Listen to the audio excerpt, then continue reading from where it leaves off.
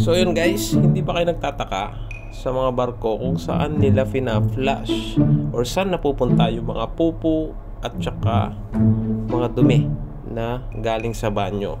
So ngayon guys, bibigyan ko kayo ng konting idea para papasilip ko sa inyo itong uh, sewage treatment plant.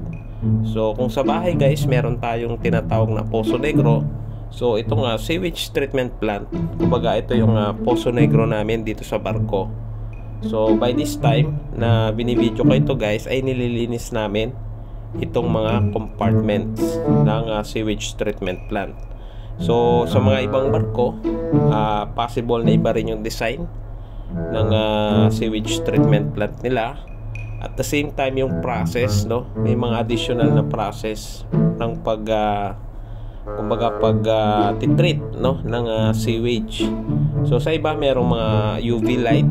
Ayan, may mga nasakyan ako na UV light.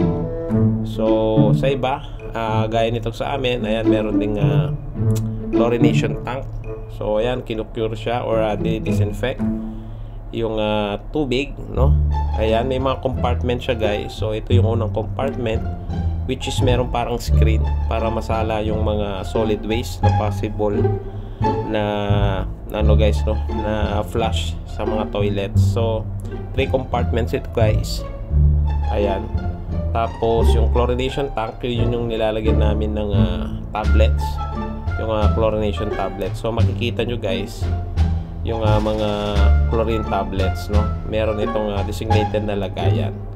So ito guys yung uh, lagayan ng mga chlorine tablets. Ayan tatlo yan. Dyan nilalagay yung mga chlorine tablets. So yung last stage kasi dito guys is yung uh, chlorination tank which is yung uh, bago namin i-pump sa dagat no? So ano na siya guys no? Treated water na siya. So ayan guys yung itsura ng uh, chlorination tank which is uh, dito sa video ay nililinis pa namin tapos, ayan, may mga parang tubo sa gilid or uh, tinatawag yung mga float. So, para yan sa alarm. Tapos, para sa start ng pump at saka sa stop ng pump. So, ayan guys, uh, ito rin mga valves from different compartments. So, ayan yung pump namin guys. Ayan.